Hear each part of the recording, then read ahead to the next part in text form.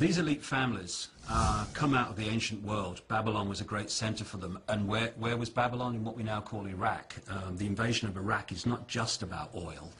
It's not just about one thing, it's about many things. And, and one, one thing it's about is the historical connection that these um, controlling elite families have to that area, which was Sumer and was Babylon, thousands of years BC, and is now Iraq. Um, they then expanded into Europe and became the uh, European aristocracy and royal families. They were involved in the Roman Empire. They were involved in the British Empire.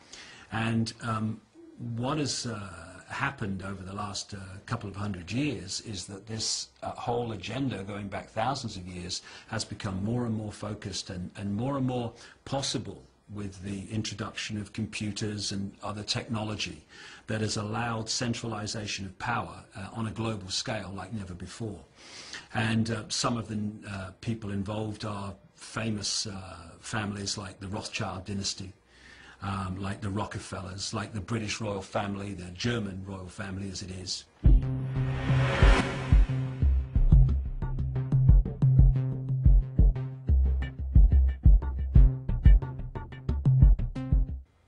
I know it's hard for people to grasp at first how it's possible for a few to control the many, i.e., um, six billion in the end. But it's a very simple structure. And if you look at the Russian doll situation and, and you use pyramids instead, if you uh, go to a bank and you hand over your, your, your dollars to the, uh, to the cashier, that cashier does not know what's being decided in the bank manager's office behind them. He doesn't know what's happening at the next level of the bank, and the next level, the next level, until you've got a few at the top of the bank who are the real people and only people that really know what that bank's about. That bank pyramid then goes into a bigger pyramid and a bigger pyramid until you've got one that encompasses the whole of the global banking system. And at the top of that are a very few interbreeding families. Now, the same uh, applies to transnational corporations and the oil cartel and the pharmaceutical cartel. And it's the same with governments. It's the same with um, all these institutions and areas of society that have control over people's choices and therefore people's lives. And in this way of what they call compartmentalization, you have the ability for a few people to feed the same policies, the same agenda down all these apparently unconnected areas of life.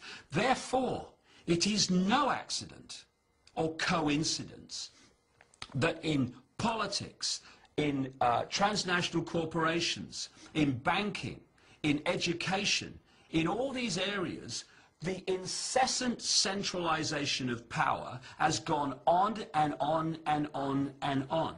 We're seeing it now uh, politically with the European Union here. You know, the, the, the British government can hardly breathe now without um, getting permission from Europe. Where's their power? Their power is in the people saying, oh, well, I don't like it, but it's the law, and so we better obey it. You know, okay, um, we've had a discussion. Um, and we've decided we're going to introduce a law today where we're going to take our children, uh, your children from you, okay, and we're going to put them in a uh, a national education centre, and we're going to control them, and maybe you can see them twice a year, okay? We're passing the legislation this afternoon. Would you accept that? Would parents accept that? What would they do? They'd stand up and say, we're not having this. So there is a point then where, in, where people en masse will say, enough. It's just a case of when are we going to say that? Are we going to say it now, while we still have some time to bring an end to this nonsense, or are we going to start saying we're not having that at the point when they're introducing legislation to take our children away? And by then, people brave people who've stood up and, been counted in the years before while, while the others uh, just look the other way, they're actually not going to be around to speak on behalf of the people having their children taken away. So, are we going to make a stand now and draw a line in the sand and say here and no further? In fact, we're going to roll this back? Or are we going to wait until it's got really, really extreme by which time there'll be so much infrastructure in place that drawing a line in the sand will be a serious challenge. And it's no good. I said to some policemen in Parliament Square a few months ago, ask yourself, when your child says to you, Mummy and Daddy, what were you doing when the police state was introduced? Oh, oh, well, I was watching, um, I was watching the telly, honey. Or in the policeman's case, I was helping to introduce it, dear. That's the situation we're facing. And, and you know, if people don't like it, well, they just have to do the other thing, because this is how it is. And we either face it now, or we face it a little bit further along the road, when if we think it's not very good now, it'll be a bloody nightmare by then.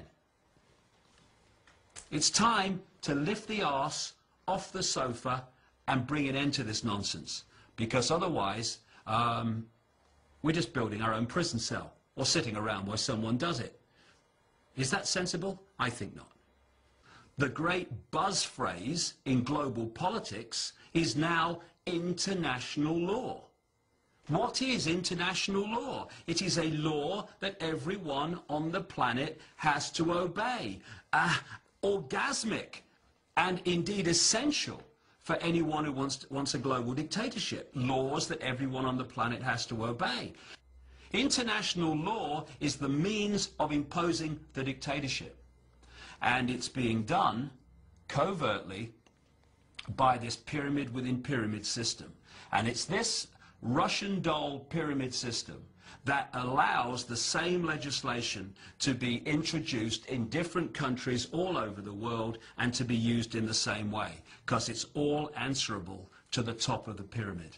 And That's how it works and it's dead simple because it is essential that um, as few people as possible are aware of what is actually the game, what is actually the, uh, the outcome they're leading towards, because people in general don't want themselves and their children to be um, enslaved by some uh, uh, malevolent centralized global dictatorship.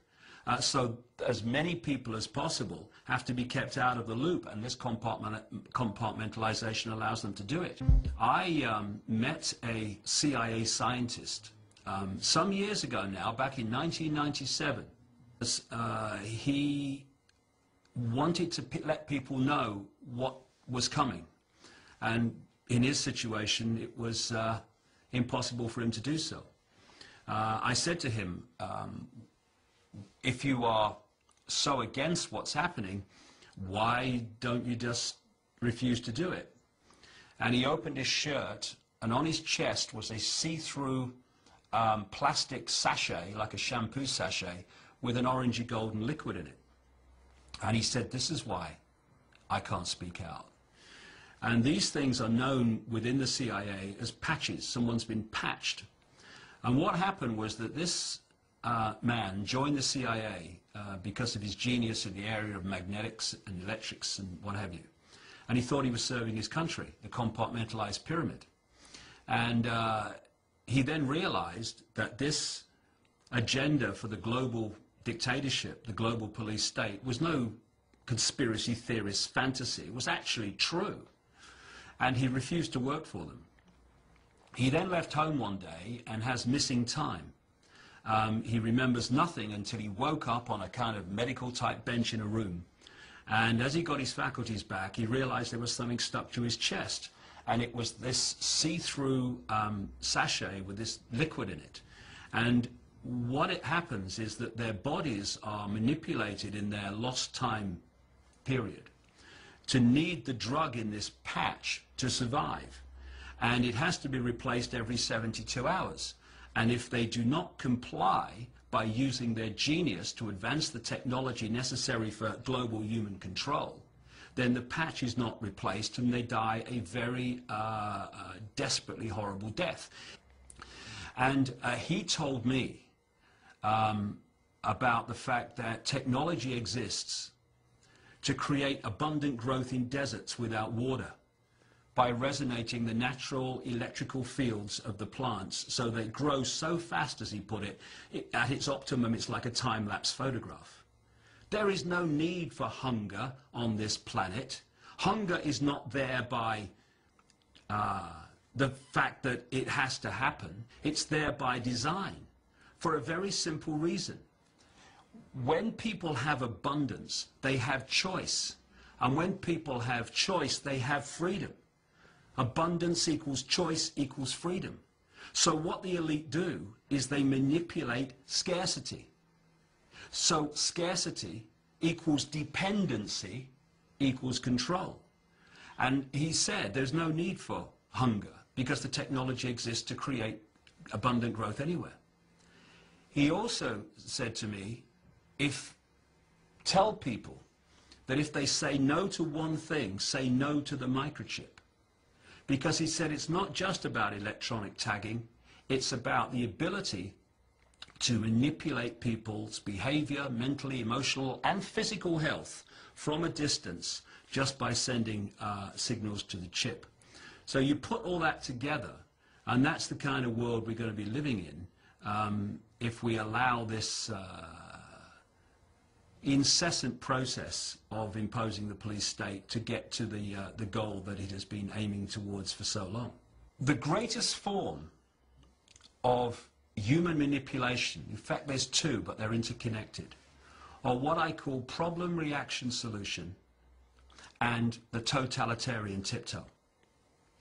Problem reaction solution is the term I, I coined to describe a system whereby you create the problem. 9-11 is a classic. Um, you don't even need a real problem. There is a version of this which I call no problem reaction solution, like weapons of mass destruction in Iraq. You only need the perception of a problem. You get people to believe there's a problem and a problem needs a solution.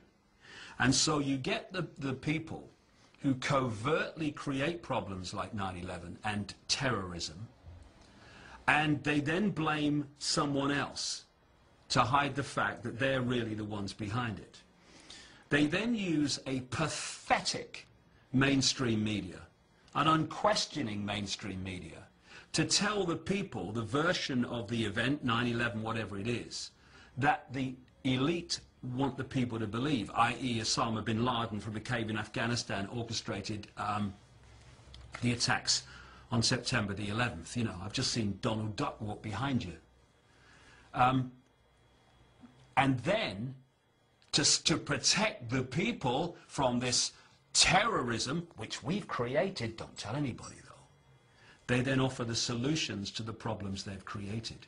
And those solutions are to change society in precisely the same the way that the agenda demands. And what happens with problem reaction solution and the naive people, thanks to the naive people that believe it's for their protection, things that changes in society that the people would normally oppose by reflex action are either not opposed on, on the scale uh, it normally would be, or are allowed or encouraged to go through because they are a solution to a perceived problem. And you hear it all the time. Well, I know it's taking our freedoms away and all that, but, you know, what can you do? You've got to protect people from the terrorists. And what we are going to see more of as these years unfold is more chaos problems created to create more fear, because that's the four-letter word that controls the world. Once people are in fear, they look outside of themselves for someone or something to protect them from what they've been manipulated to fear. A population or a person who's not in fear is a nightmare to manipulate and control. Someone who's in fear, piece of cake.